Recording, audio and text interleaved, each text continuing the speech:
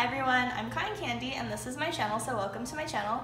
Um, if you guys watched my last video, you know that I'm going to Tomorrowland this weekend. Actually, I'm going tomorrow. I fly out tomorrow to Paris and I thought it would be fun just to kind of like show you guys what I packed um, because this is my first time going to Tomorrowland and traveling to a different country and having to pack for camping and being in Europe for a week and a half, like I had to strategically pack to make sure I could bring everything. Um, so yeah, I just wanted to share that with you guys. So this is my 28 inch hard shell luggage. It's broken up into two sections. For this side, I mainly just have all my clothes in it. And because I didn't pack enough on this side, I had to kind of stack some other stuff on top of it. So I have like my CamelBak and a couple of um, items that I have put in Ziploc bags to kind of hold it down and keep everything from falling apart when it's upright. So you guys know I like to wear stickers on my face. That's like my thing. So these are my stickers have a variety because I don't plan what I'm gonna do to my face. I just kind of like wing it when I get there, so I have plenty of options. Cute. I know you guys have probably experienced this. Um, a lot of times, like I'll spend all this time picking out my rave outfit and like putting outfits together, and then when I get to the event a few days later, I totally forgot what outfit goes with what.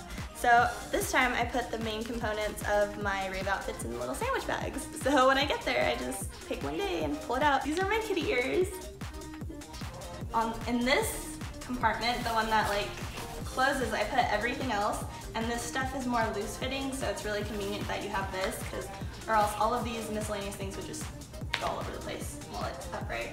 Rave shoes, um, sandals for camping. I have a yoga mat in here. I really like to stretch every day and I feel like I'll be miserable if I'm out in Europe for a week and a half and don't stretch. And since I was bringing this huge luggage, it fit. I have some friends who wanted me to bring some American food and stuff for them, so I have that in there. These are the Oreos I'm bringing to France for my friend. Apparently they only have a few flavors in France, so I was like, okay, I'll hook you up. Yeah, look at, we have cinnamon bun and red velvet cheesecake and lemon. I am literally the best friend ever. So I've traveled a lot for festivals and this is all stuff, like I've gone through security that has gotten me searched. So I put it all in a nice little bag for them. If it goes off again, um, it, I'm gonna put it right on top and it's right there for them to check. And they don't have to go sifting through all my luggage and making a mess. So all of that is compartmentalized. So in this carry-on, I have all of my hygiene stuff. I have really bad skin, and so if I don't stay true to my regimen, I will definitely regret it. So I have to carry that with me at all times.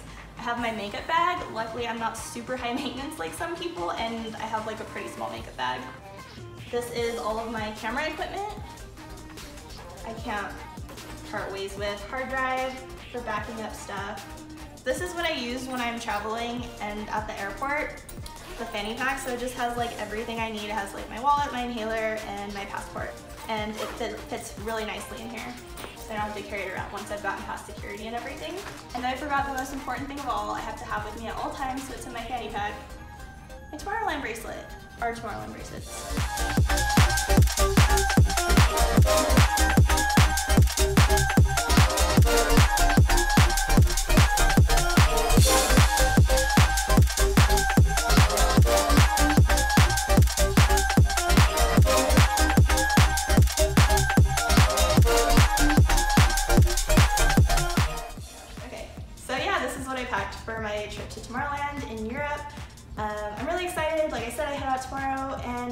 Actually, if you guys want to follow me on social media, I'll be posting pictures and videos on my profile in real time.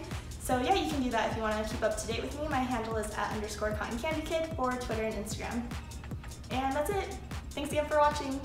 Peace out, Girl Scouts. I really hope we don't have to go up many stairs in Europe. Dude, it's like a winding staircase too. It's good practice.